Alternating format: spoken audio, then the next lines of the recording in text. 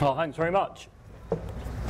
And thanks so much everybody for coming. Give me a sign if it's not if I'm not talking loudly enough or anything like that or whatever that's and break in if you really feel the urge to do so. Now, I'm going to tell you three stories from the book I wrote, The Darknet. But I want to tell you first why I wrote this book, why I decided to spend really a year of my life um, trawling around, crawling around the sort of most shocking hidden parts of the internet. And the reason was this. So over the last three, four years in my work at Demos, but also at the Telegraph, where I write sometimes on technology, I'd always felt like I was constantly hearing stories about terrible things happening on the net. Illegal pornography, drugs being bought and sold, internet trolls and bullies, neo-Nazis, Islamic State, and so on. But what I always felt about that was that I was never really getting the full picture. It was always a flash of a story. And I wanted to understand, I suppose, the human, the social, the subcultural reasons why people were getting themselves into these internet subcultures. What was driving them there? And I suppose more broadly, what are the extremities to which we will go? Because it really is all of us. We will go when under the conditions of real or perceived anonymity.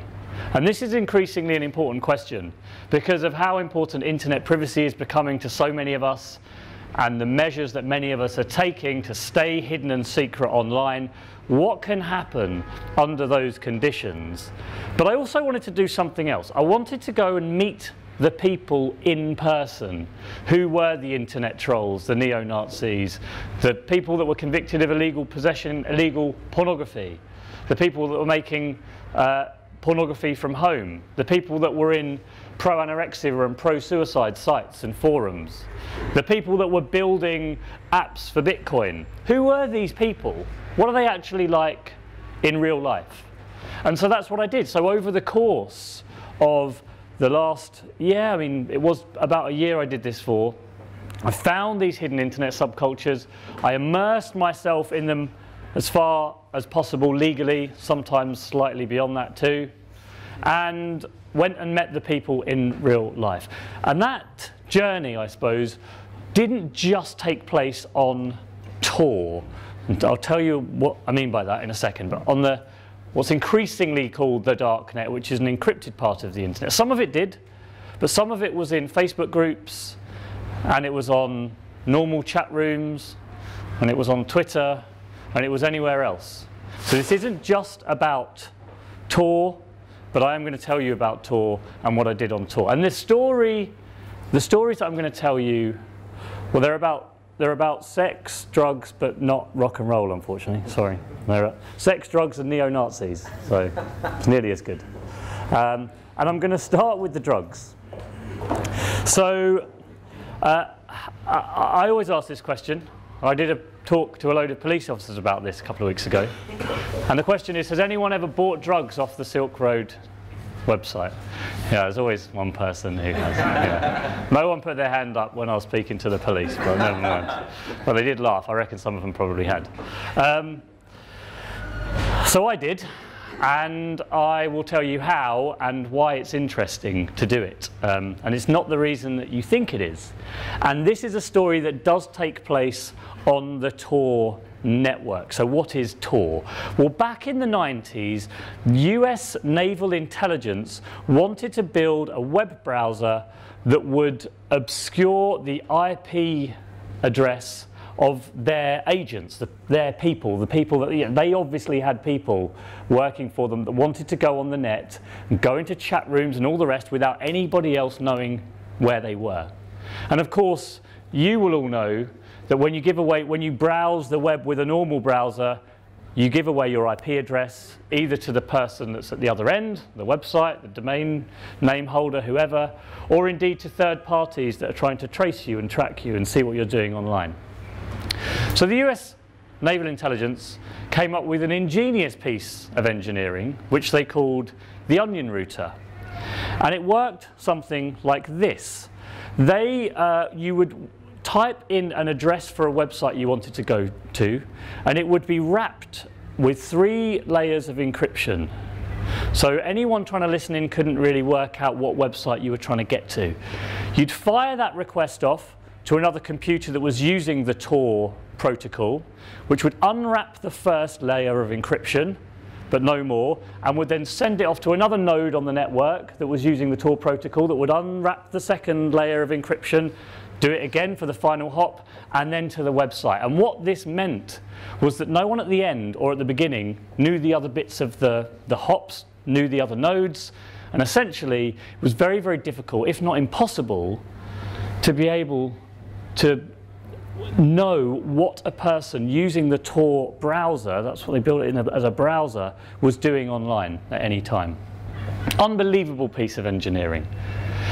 The only problem with this was it's a unique protocol, which meant that US naval intelligence worked out if we're the only people using this, uh, they're all going to know it's us.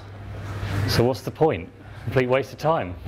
it's actually worse. they can be certain it's us. so they decided to open source this project, make this available to everybody and anybody. And then they thought we could swim with the other fishes and we'd get, you know, we'd hide in the crowd. So they open sourced the protocol and the browser and it was taken up by civil liberties activists democratic activists who realize the value of this for internet privacy, especially in dangerous parts of the world, but also as a way to circumnavigate censorship. Because when you bounce your request for a website off these three nodes, the final node, the final IP address that it comes out of is not in the country that you're based in. So you can get around some of this sort of state level or network level censorship. So this is an amazing, amazing piece of kit. And it was picked up and used by lots of civil liberties activists and still is. And this is the Tor browser. Have any of you guys used it? It's a little slow. It's getting faster. It means more than just browsing. It's a bit of a statement when you use it because you really care about internet privacy and internet freedom. Now, a little while later, I'm not actually sure who, somebody realized that you could use the same sort of system to obscure the location of a, of a website as well. And this became known as Tor Hidden Services and shorthand the Darknet. It's something like 30 to 60,000 sites which you access using the Tor browser and which because it uses the same system, it makes the server where that website is hosted almost impossible to find, so you don't know the physical location of the site, so you can't really censor it, you can't really remove it. If you're an authority, it's there, but you don't know where in the world you need to go to to try and get it offline. So you've got this network of sites which is more or less impossible to censor or remove, and people going on there with a browser that means you can't be found either. Well, so you can imagine what this creates creates one of the most interesting, exciting, terrifying parts of the net because it's somewhere where anybody with something to hide is going to go. So there you will find the good, the bad and the ugly, cheek by jowl. You will find illegal pornography. You will find whistleblower sites. The New Yorker even has a site on the darknet for whistleblowers. There's a lot of rubbish on there as well, terrible blogs and all sorts of crap.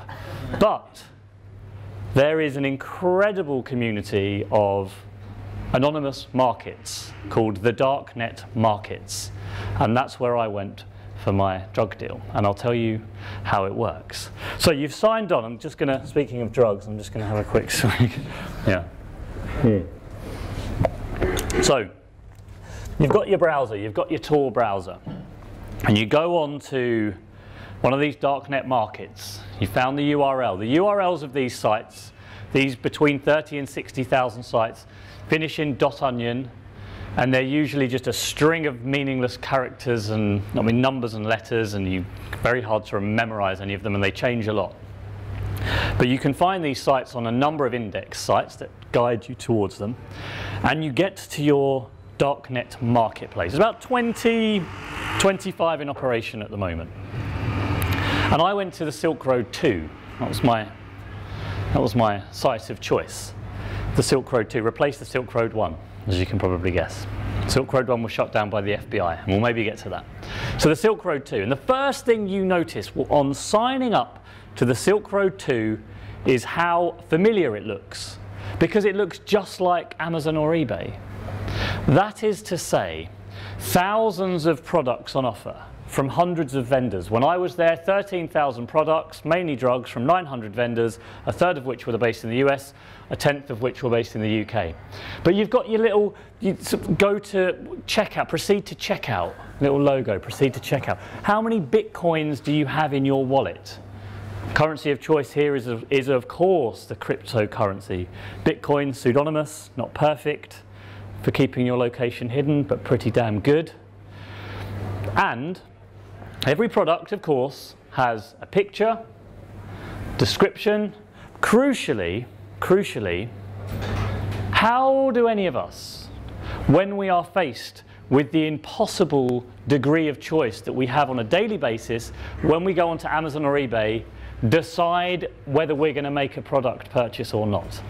It's the user reviews. It's the star. It's the star system. I don't know what you call it. The rating system. It's become like such an important currency today because it's the only way we can make decisions when we're faced with such levels of choice. And that is exactly the same on the Silk Road.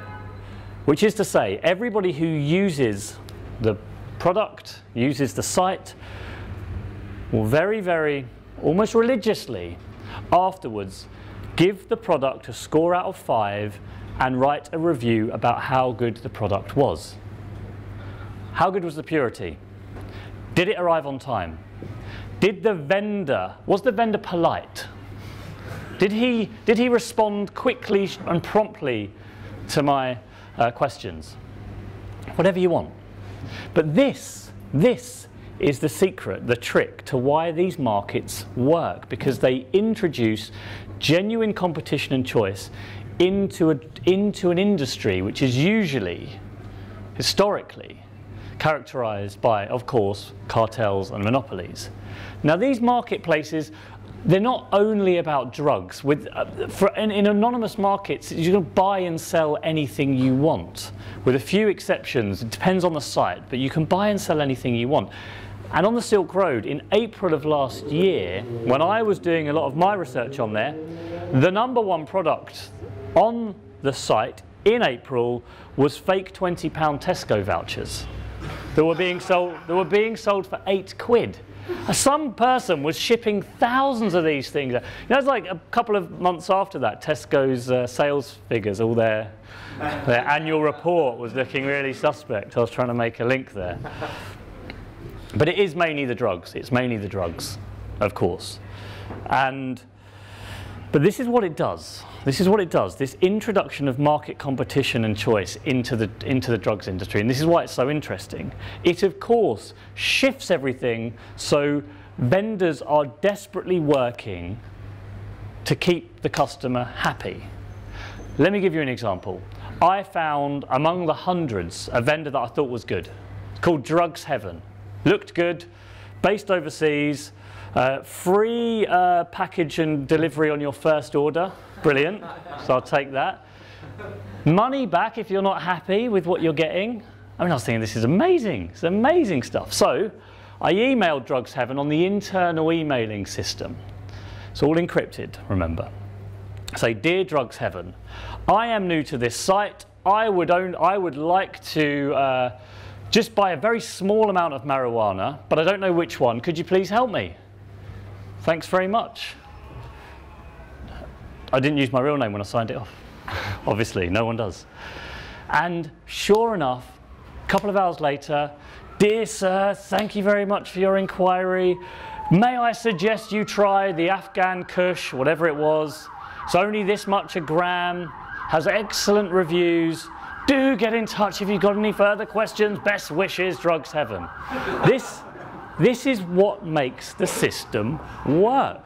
It's the introduction of competition and choice and the fact that there is a mechanism by which you get to decide who is considered by other users to be the best vendor. And this introduction of competition and choice is creating an incredible dynamic, which is what you'd expect. That product quality and choice is always going up and price is always going down. It's what happens in markets. And strangely enough, being on the, of all the places in the world, it was being on this site that made me think, bloody hell, markets actually work. They really work. Didn't expect to find it there. So, for example, a couple of months ago, so it was after I'd written the book, I saw one vendor, just to give you an example, one vendor who was selling, and I quote, fair trade organic cocaine. Not joking. That was sourced, says vendor, from local Guatemalan farmers, not your Colombian drugs lords or your dodgy coppers or anything like that, Colombian, uh, Guatemalan farmers, not only that, this vendor promised that 20% of any profits made would be reinvested into local education projects in the community. How about that? How about that? So I managed to get hold of 120,000 pieces of feedback that had been left on the Silk Road over a three month period while I was writing the book. Some clever guy had found it, sucked it off the Silk Road site, and then dumped it in an obscure forum. 120,000 pieces of feedback. Average score, no, I'm not going to go with the average score, 95% of the scores for the drugs are what do you expect? Five stars out of five. That's what happens. Lots of very, very happy dealers out there and buyers. And so as a result of this, creates a very difficult dilemma, I think. And this is actually a theme that runs through the whole of my book, which is the dilemmas, the sort of moral dilemmas that are created when you operate in the conditions of anonymity. Because on the one hand, if you are with a darknet market, an anonymous marketplace like this, drugs, more drugs are more easily available to more people and higher quality and in more variety. Everything we know about drugs consumption suggests that drug consumption will go up under those conditions. I actually heard about recently some people, I think someone had tried to murder their husband by buying some arson, I can't remember what it was now, some kind of poison that they'd found on the darknet. There's going to be problems with making the supply of drugs. And imagine when it continues to evolve. Imagine. What happens if they start managing to nail, so at the moment, you've got to wait two or three days for your drugs to turn up in the post. Because that's how it works put in your, put in your address, which is pretty terrifying. But a lot of people send it to a, they call it a drop address, which means it's an address where you have access, you don't live there, and you give a fake name, but you know what name to look out for. That's what most people do. But I, to test the system, I had to get the thing sent to my address. So it's quite terrifying when you do that because you're thinking, I'm giving my address to a bloody drug dealer. That's not a good call. but yeah, and, and so um, the, the, the, what happens when you move from a marketplace like this where you have to wait three days to get your product to one where you can order on the night when it's two o'clock in the morning and it's Saturday and you don't want the party to end? Because that's what these marketplaces will try to do because they are absolutely they're so competitive, they're constantly evolving, they're constantly innovating, and they're going to be trying to work out how are we going to get, you know, we've got to cut down the delivery times. We need the impulse buys. That's 70% of the drugs market. How are we going to get them? And they're working on ways to try to do it. They've got an incredibly sophisticated suite of ways of getting around problems with payment. So you pay in Bitcoin, but the problem with Bitcoin, I don't know if any of you use Bitcoin, but the problem with Bitcoin is that it's not actually anonymous. It's pseudonymous. Every transaction is publicly recorded which means if you buy Bitcoin with your credit card and then you use those Bitcoin to buy the drugs, it's really easy to trace it right back to you. So they've invented, they realized this was a problem, and they invented all sorts of little micro laundering systems whereby I need to send a Bitcoin to my Silk Road wallet, you need to send a Bitcoin to your mother, we both send one Bitcoin to a central wallet, which then splits our Bitcoins up and then sends them on their way. So they're no longer the same Bitcoin that ends up in each place constantly, when you do that three or four times, it is so difficult to trace a Bitcoin transaction back to an individual. They're constantly trying to innovate. So this is the problem. More drugs, more readily available to people. But on the other hand, of course, there is actually a functioning system that allows people to determine the purity and the quality of the drugs they're taking. And the reason so many people die from overdoses is, of course, because they don't know the purity. Sometimes it's too strong. Or it's mixed with a load of shit. And so they're overdosing because they got Novocaine or whatever else cut with their drugs, if they're lucky. 11 people died in Glasgow a couple of years ago because their drugs had been cut with something ridiculous, like arsenic or something absurd that had been put into their heroin. That stuff does not happen in the same way on these markets. It's not perfect, but it is a functioning system. What's more, you of course are reducing a lot of the street crime that's related with petty turf wars. So suddenly you've got a dilemma. Is this a good thing for society? Might these markets actually point the direct point towards an alternative model for our war on drugs, which wouldn't be a war at all, it'd be a functioning marketplace. This is the dilemma, and so this is the dilemma that I faced throughout the book, and it's a dilemma that I'm going to take you now to the sex chapter, which is where I faced another radically different dilemma. Now, Shall I get you one, Jamie? Yeah, if you wouldn't mind, that'd be good. Yeah, thanks. Mm. Now, I, when I started writing this book, I'm quite naive. I'd never heard of webcamming. Does anyone here know what web, webcamming is? I hadn't. I really hadn't. I really, honestly, I didn't. know. I didn't know. I didn't know. Or like, I tell you what, I did definitely didn't know. I mean, I imagine people might do it. But I definitely didn't know quite how vibrant this community of webcam, webcam girls, mainly girls, was. So let me explain to those of you who might not know, like me. Webcamming is where predominantly young women between 18 and 24 perform sexually explicit acts in their bedrooms for viewers that are watching at home through their screens. It's usually done to uh, sort of a tipping model, so it's a freemium model. It's free to go in and watch, and you pay money in tokens depending on the site if you like what you're seeing. That's what webcamming is essentially, and anyone can do it. You, you can all do it. I could have done it, but there's about 30,000 or so women that are doing it, many of whom are making a pretty damn good living out of it. That's webcamming.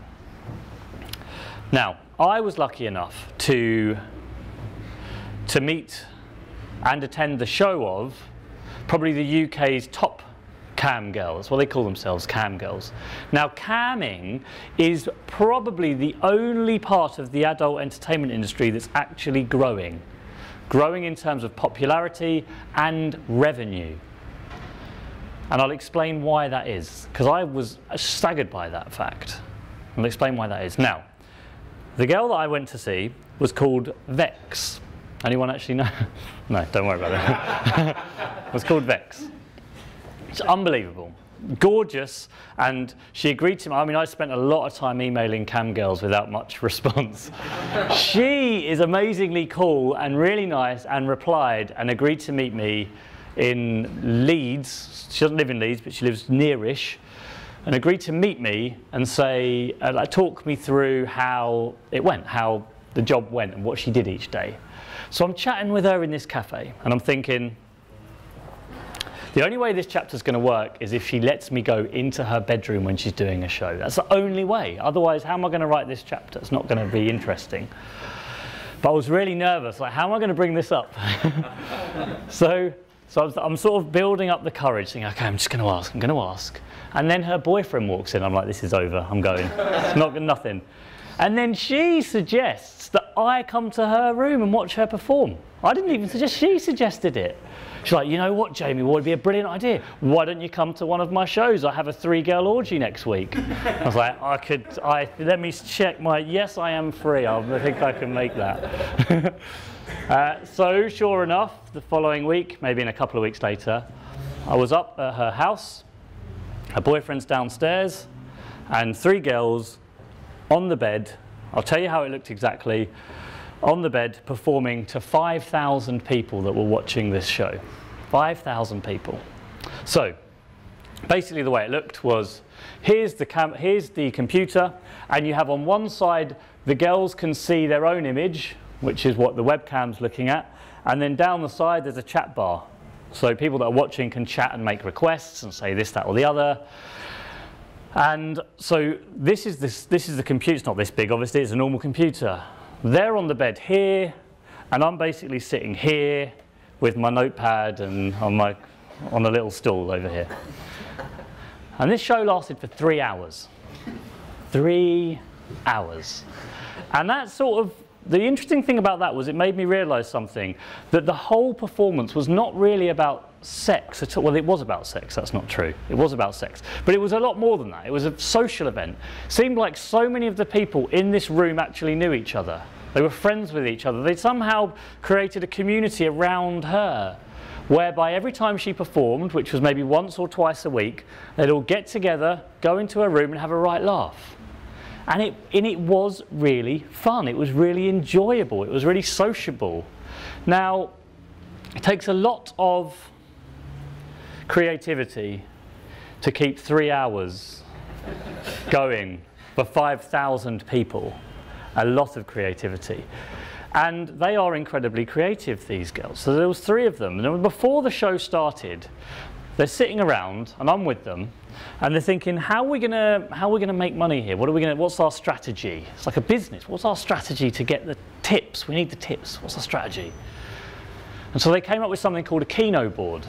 I definitely hadn't heard of a Keno board before, but it's like a, it's like a bingo card with a load of numbers. Each number signifies an amount in token. If you tip that amount in, the, in tokens, it opens the, the number, the door of the number, and behind there is a sexual prize that the girls will perform. Now, a lot of those prizes, really weird things happen with this. So a lot of the prizes were quite funny. The first one was a firm handshake. That was 20 tokens, firm handshake, ha ha ha. They did a firm shake, yeah, like, really funny.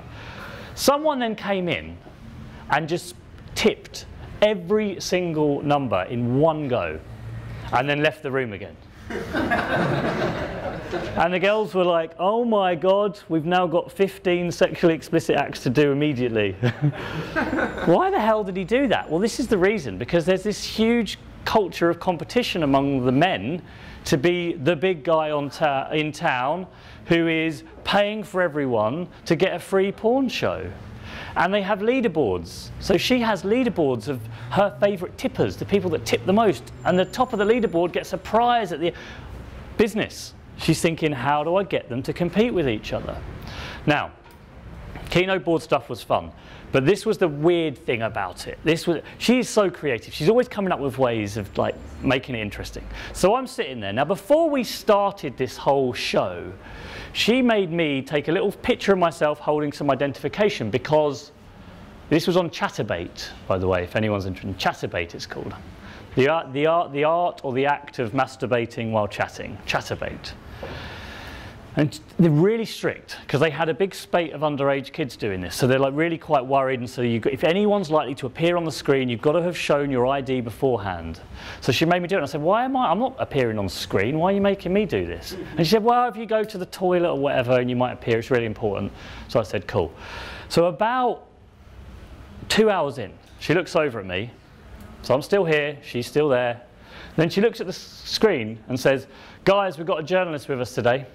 And I was like, this was not part of the deal. this was not part of the deal. She's like, yeah, yeah. And he just said to me that if you agree to tip $100 in the next 90 seconds, he's going to come on screen and say hello. And I was like, what the fuck? and sure enough, everyone's, everyone's like tipped straight away. And then she comes over and grabs me and pulls me onto the bed. And so suddenly there I am I was like, hello, everybody. So, sorry. and, uh, and then I leave, but someone screen grabbed it and sent it to me. So there you go. I've got it on record. so, so, yeah, I have. Um, now, by the end of the show, by the end of the show, they had made approximately three to four hundred pounds each in this show from those 5,000 people. Now, why is that so popular? There's some really interesting research about how people are getting a bit turned off by ridiculous hardcore pornography because it doesn't actually in any way relate to or feel like the reality of what sex is like for most people. And there's a sort of huge amount of interest in this which feels normal. It feels like a social event. And this in a way was part of the moral dilemma, which is that it's it does feel like more a more healthy attitude to sex. This type of this type of show. And there are indeed cats running in and out, and things go wrong, and the webcam doesn't work for a second, all that stuff that happens in real life. Actually, if you're interested, there is an amazing Tumblr blog which is called Indifferent Cats in Amateur Porn. I don't need to describe any more what it's like, but that's unbelievably funny, and I suggest you go and look at it on not on your work computers. and that's what it's like. It's realistic. It's actually realistic. And she, uh, Vex, she's earning something like £40,000 a year working one or two days a week. She loves it. She thinks it's an amazing job. Imagine if she was dancing in a bar or something, fucking awful. So she really loves it. But there is all the time underlying this, there was this kind of horrible dynamic that she is also terrified that the guys, and it is nearly all guys that are paying for this, can any second just go to another room. There's 30,000 other rooms, 30,000 other girls that will do what they want, and they could just tip her instead.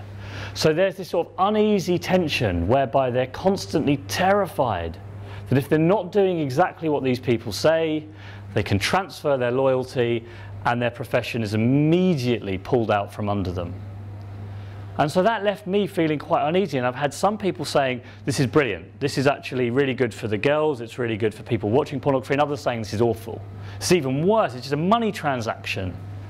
So, and I again, in the same way with the Silk Road, I left thinking, I'm not actually entirely sure what I think about this, whether I'm happy about this or worried or nervous about this. And indeed, you know, I ended up being screen grabbed. Who cares about that? But there are other people that get screen grabbed that do care an awful lot about it because once they're on the screen and someone grabs it, and you can send it to anyone you want. And I've seen, and I did a chapter in the book about this as well, people that do webcamming and then have their lives utterly destroyed because someone grabs the images, once it's out there, it's out there forever, and then just sends it to everyone they know. So there is, again, what sometimes seems bad then feels good, then you think again and you worry and you're not sure. And that's how I left the webcam uh, the webcam chapter. And then the final thing is uh, neo-Nazis. Now, hmm. Oh yeah, that's great, thanks. Hmm. Gets me in the mood. Gets me in the mood. Well, it reminds me because a lot of the chapter on neo-Nazis, I was in pubs drinking pints, so makes me feel like I'm back there. So the, my favourite character in the whole book that I uh, met was a guy called Paul, who was an unbelievably virulent neo-Nazi. But I really liked him. Really liked him in person. Found him friendly and warm and charismatic. And this isn't unusual, this is how it often goes. But the difference here was that he had a radically different online persona to his offline persona. So I'd been communicating with him for some time, all online, trying to get him to agree to meet up with me. You know, and he was, I mean, the stuff he was posting on Facebook and Twitter and YouTube was unbelievable. And I finally got him to agree to meet me, and I'm standing up. It's actually in Yorkshire again, so something going on in Yorkshire at the moment. I don't know what it is. Geoffrey Boycott's got something to do. but, um, and I'm standing, and he lives in a small town. And I'm waiting for him to turn up at this train station, and I'm shitting myself because this guy is terrifying online, terrifying. And then this really, I mean, I'm sort of giving it away already, but this really sort of friendly, nice guy comes up and he goes, I can't believe you've come. I've seen you off the telly. You're Jamie from the telly. I'm so glad you're here. And I was like, oh, Jesus. Wasn't at all how I expected him. Sorry about that accent, everybody. um, wasn't at all how I expected him to be. And I sort of wondered, how did he manage to create such a different online version of himself? And that was what I was trying to understand, what I was trying to work out. And it all started back in 2009 with the English Defence League. So I guess most of you will have come across the English Defence League, and I've done a lot of work on the English Defence League, spent a lot of time with Tommy Robinson, who was the leader of the English Defence League. Um, and Back in 2009, this was the interesting thing about them. There's a bunch of lads from Luton, five or six of them, that's all. And they managed to start, thanks to Facebook, and it started as a Facebook group, not as an offline group, a Facebook group. They managed to start a movement whereby they were having 300, 400, 500, and then 1,000, then 2,000 people on the streets every other weekend, marching up and down. Tommy Robinson appears on Newsnight with Jeremy Paxman. This was a Facebook group set up by five blokes in Luton. And this is the sort of interesting thing about the way politics is changing. Now, Paul, at that time, was only interested in clubbing and drugs, didn't care about politics at all. Not interested. Then one of his mates, probably about 2011, one of his mates on Facebook liked the English Defence League's Facebook page. And this is the way he got into it. And it's the way so many people got into it. Because we don't trust politicians. We don't trust mainstream media. There's loads of surveys that show that. But we do trust our mates. So if our mate likes something on Facebook, we think, yeah, I'll, I'll give that a go. So he clicked like on Facebook, and then suddenly he is receiving updates on his Facebook wall about the English Defence League. And he thinks, I like these guys. This looks in, this seems like quite interesting to me. So he went on to one demonstration, but he didn't like having all the people around. He's really quite a shy person. Didn't like it. But he started getting involved online a lot. So he started contributing to the page, started adding comments, started making posts of his own. And then one day after about six months, one of the administrators thinks this guy, this Paul guy, he's really smart. He posts really interesting things. Let's invite him to become an administrator, an admin of our page. An admin of a page, this is unbelievable. Now, it doesn't sound like much, but when you're living at home on your own and you you love this group and suddenly someone asks you to become a page admin, you can edit people's posts, you can kick people out, you put posts on yourself. This is amazing. And he really loved this. And I think this was one of the first times in his life he had a bit of power, a bit of authority. People were listening to him. And I think interestingly enough, the role of an admin is a really important one in politics today, but one that we don't really think about. Now, the person that was running the English Defence League's Twitter account when I was writing this book was a 16 year old girl. A totally new type of person, not who you'd expect at all. 16 year old girl. Now, when I did, uh, I did a big survey once of the British National Party's Facebook supporters. And I went to present the results, and it was about a survey of about a thousand of them on Facebook. Basically set up a little Facebook ad saying, BNP supporters, click here to fill in a survey. And I targeted it at people that said they'd liked the BNP. And I didn't think anyone was going to reply. And I got back like on Monday and a thousand of them had replied. I was like, this is amazing. So I went and presented it in the European Parliament. And I sat down, and Nick Griffin walked in and sat down in front of me. And I thought, oh my God, how? So I presented it like straight faced. And then afterwards, he came up to me and said, Thank you so much. That was an amazing presentation. Because we had no idea who these people were either. we don't know who they are. But we need them because they're the guys now that are the ones that are getting out on the streets and doing demos. He said to me, I don't phone up a local party branch if I want a demo. I get someone to post it on the Facebook page. That's how we do it. So you've got this whole new category of people, and Paul was one of them. And he gets more and more into it. He spends more and more time on it. 90% of his day, he said, I was on Facebook, I was, ad I was adminning the page. And he gets more and more angry, gets more and more frustrated, more and more polarized, because he's reading up about Islam, and everything he's reading about Islam comes from people that are posting stuff on the English Defence League page, which is not exactly the most sort of objective account of the religion. So that's, but that's all he's reading, and that's all that's coming to him. So he's like, the country's being destroyed, Western civilization is on the verge of being over, Eurabia, they're taking over, all of this stuff. And he gets more and more and more angry and more and more frustrated. After a while, he decides. that's, yeah, exactly. And that's the end. After a while, he decides the English Defence League aren't radical enough for me anymore. They're not they're, they're pretty tame. The BNP are rubbish, they're old, I don't like them. So he decides to start up his own type of nationalism, which he called New Nationalism, but spelled NU, like nu metal. So it was sort of slick, well produced, uh, and he just starts churning out propaganda, videos that he's learned how to make, high quality stuff. But he starts getting a following. People around the world are starting to listen to him. Now, this is and I was thinking, you know, and he's getting more and more angry, more and more caught in this little bubble of his own making.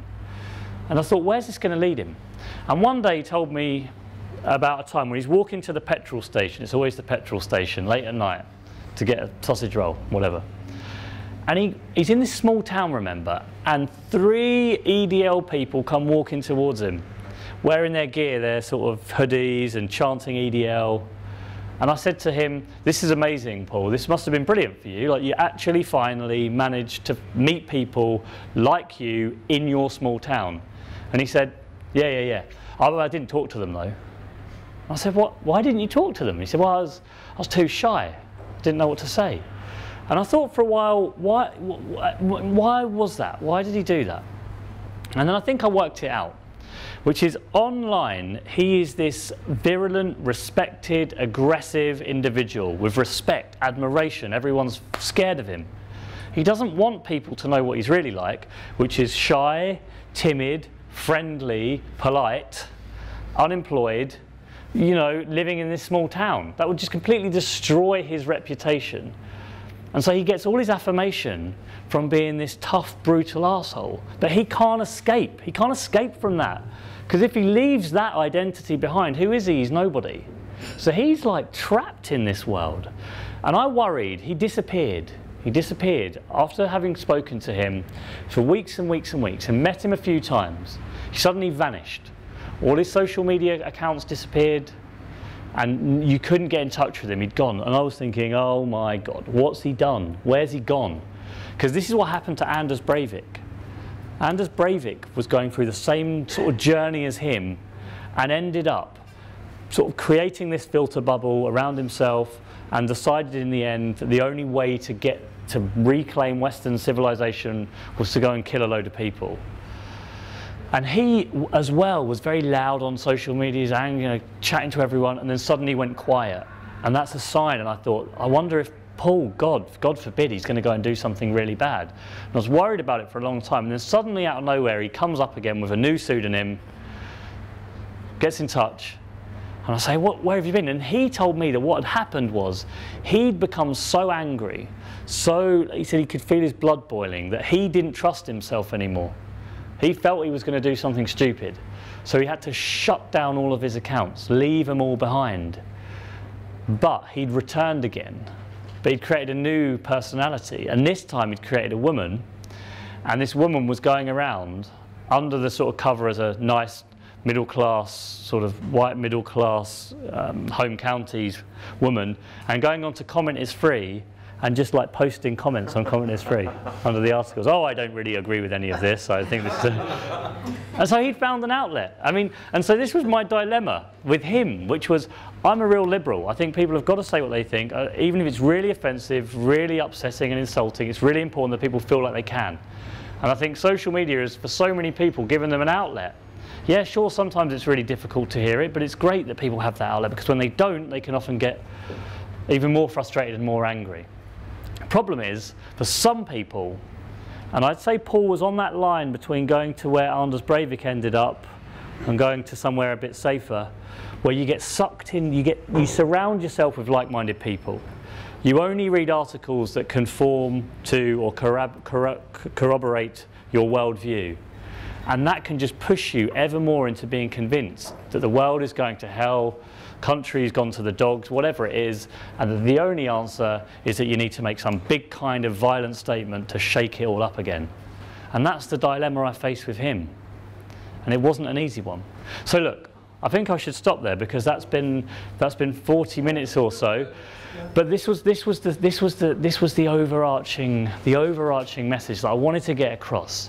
I went into researching this book and all these dark subcultures, thinking I was going to find it very easy to decide what was bad and what was good, what was black and what was white, what was right and what was wrong. And every single chapter I did, I came out thinking, I'm not actually sure. And almost every time, meeting the people in person really changed my view on it because they were always more interesting, always more morally nuanced, always more complex than the image I had of them in my head. And so there's always a danger that actually when things are hidden away, we also create demons in our, in our minds about how these people really are. So if there's one message to take away from it, it was that moral ambiguity and that was not at all what I expected to find on the dark net. Thank you for listening.